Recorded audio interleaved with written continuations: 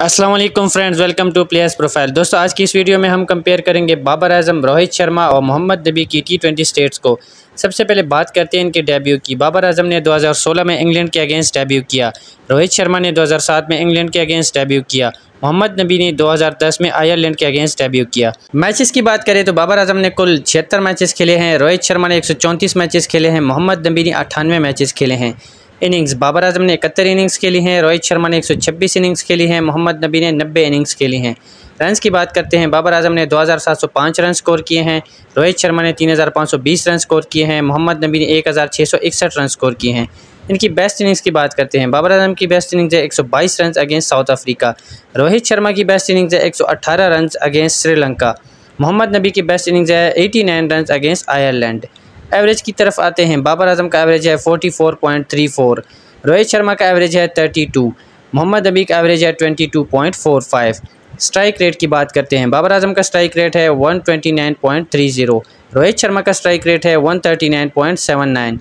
Mohammad Nabi का strike rate है one forty one point twelve.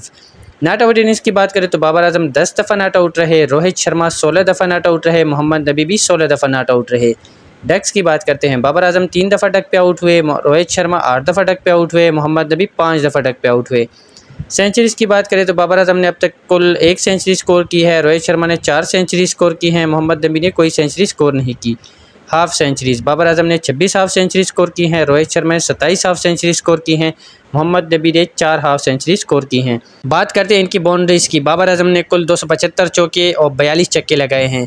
Rohit Sharma ने कुल तीन सौ पंद्रह चौके, एक सौ चौंसठ छक्के लगाए हैं। मोहम्मद नबी ने एक सौ बारह चौके और नवासी छक्के लगाए हैं। मैन ऑफ़ द मैच और मैन ऑफ़ द सीरीज़ की बात करते हैं। बाबर आज़म छः दफ़ा मैन ऑफ़ द मैच और पाँच दफ़ा मैन ऑफ़ द सीरीज़ रहे। रोहित शर्मा ग्यारह दफ़ा मैन ऑफ़ द मैच और दो दफ़ा मैन ऑफ़ द सीरीज़ रहे, जबकि मोहम्मद नबी तेरह दफ़ा मैन ऑफ़ द मैच और दो दफ़ा मैन ऑफ़ द सीरीज़ रहे। इनकी कैप्टनसी की तरफ़ आते हैं। बाबर आज़म ने तिरयालीस मैचेस में कैप्टनसी की, सत्ताईस मैचेस जीते, ग्यारह में शिकस्त हुई। रोहित शर्मा ने सैंतीस मैचेस में कैप्टनसी की, इकतीस मैचेस जीते छः मैचेस में शिकस्त हुई। मोहम्मद नबी ने उनतीस मैचेस में कैप्टनसी की, सोलह मैचेस जीते, तेरह मैचेस में शिकस्त हुई। करंट आईसीसी रैंकिंग की बात करें तो बाबर आज़म नंबर वन पर हैं, रोहित शर्मा नंबर सेवनटीन पर हैं, मोहम्मद नबी नंबर थर्टी नाइन पर हैं। दोस्तों, अगर बात करें मोहम्मद नबी की तो मोहम्मद नबी ने साथ साथ 82 विकेट्स भी हासिल की हैं। सो फ्रेंड्स ये थी हमारे आज की प्लेयर्स कंपैरिजन की वीडियो अपने फेवरेट प्लेयर के बारे में कमेंट सेक्शन में ज़रूर आगा कीजिए। वीडियो अच्छी लगी हो तो चैनल को ज़रूर सब्सक्राइब कीजिए। मिलते हैं अपनी अगली कंपेरिजन वीडियो के साथ। तब तक के लिए गुड बाय